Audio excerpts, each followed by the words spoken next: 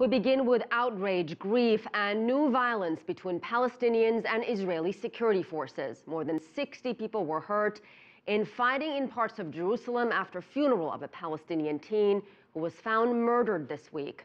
Palestinians believe the boy was killed by Israeli extremists in a suspected revenge attack after three Israeli teens were abducted and killed. CCTV's Roee Ruttenberg is live for us in Tel Aviv. Uh, Roee, so much frustration, rage, and anger from both sides. Do you get the sense the situation is going to get worse before it gets better?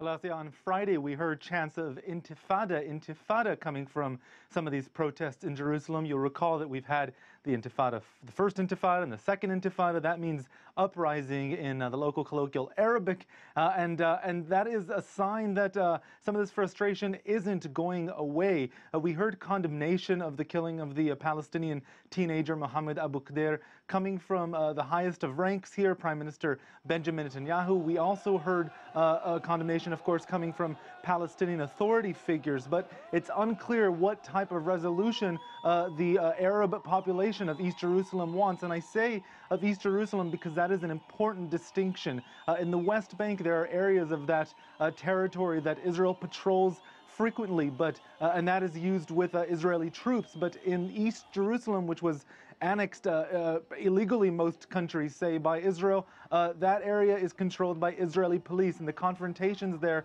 are with Israeli police. Of course, if they escalate, they can spill quite easily into Jewish neighborhoods of Israel, even beyond Jerusalem. And that's a, a very unique problem that uh, Israel is now facing.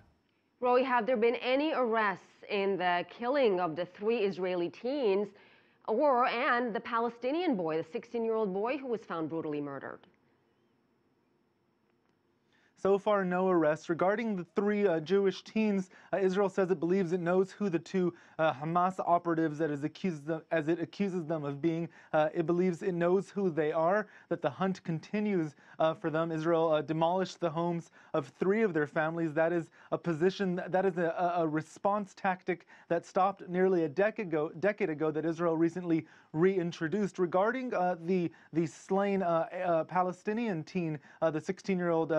Mohammed Abu Khdeir. Um, there's not a lot of information that so far has been released. A lot of what we're hearing is rumors, and part of that is because uh, Israel has put out a gag order on a lot of those details. Uh, this is a very sensitive situation. The family received the body only on Friday afternoon. He was buried right away. And you know, th there, there's a saying, um, who needs uh, who needs facts when you have the truth? A lot of people have already reached their own conclusion about what happened, and that is the problem here. And we're not just hearing accusations from the Palestinian side uh, that he was killed by Jewish extremists, uh, uh unproven uh, accusations there so far, unsubstantiated. Uh, we're also hearing rumors from the Israeli side floating around on social media and other Israeli media outlets that he was actually killed by Palestinians, perhaps even a member of his own extended family. Again, those are rumors. It's unclear if anybody will actually wait around to hear what the facts are.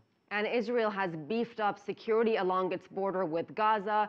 Uh, is Israel getting for an all out offensive here?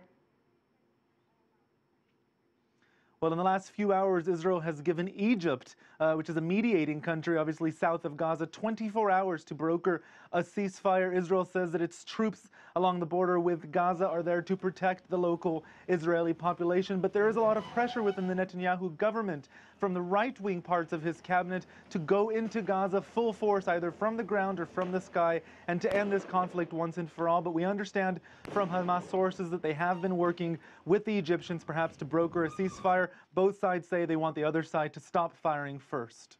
All right. Thank you so much, Roee.